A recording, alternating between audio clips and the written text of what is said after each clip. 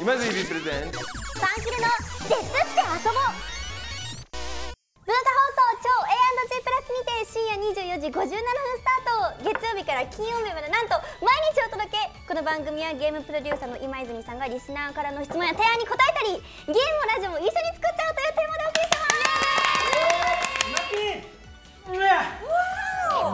何が起こったのか絶対わからないですよね。ます投げキッスされておりました文化放送もやばいよ。もうあんなんが社員だよもうやばいありがとうございます。ね今大変だよね。そうやってああいう人にもこびないといけない。じゃないコミじゃない今泉ですよよろしくお願いしますすみともみぜなですそしてうつみんですあずきちゃんです。やらんのかいおいしょ。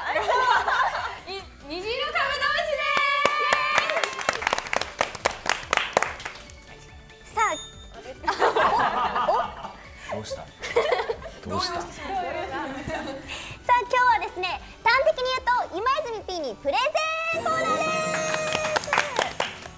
さあ今日も皆さんからの提案を伺い聞いております。え 生生放送企画部からですね柏織さんからの提案です。生放送企画？おはい。何年も頑張ってきたロストラグナロクヒロインアルマス役の角智美ジェナさん。そんなジェナさんへご褒美としてジェナさんのコーナーを何かやっていただきことです。じゃああと1分30秒。どうぞ。ちょっと待って、ちょっと待って、違う違う、急すぎ、急すぎ。こうよ。いいよ。ジェナのコーナー今日は。や、でも、うん。あ一人の、語り。住友美ジェナ。めっちゃ放り投げるじゃいないですか。うん。でも、結構最初の方、私の成長日記コーナーみたいなのあったじゃないですか。あったっけ？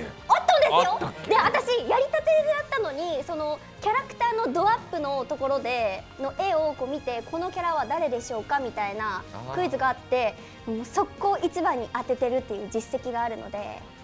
ちょっとそういうクイズコーナーみたいなのも復活したらいいんじゃないでしょうかねと。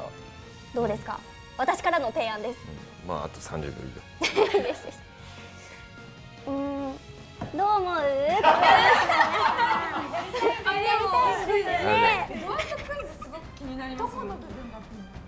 のもう太もものアップとか。そうなんですよ僕はもう止めてこい。音がずっと鳴ってる、でも虹色カブトミのしむしの皆さんも生放送の方に一緒に出るとか。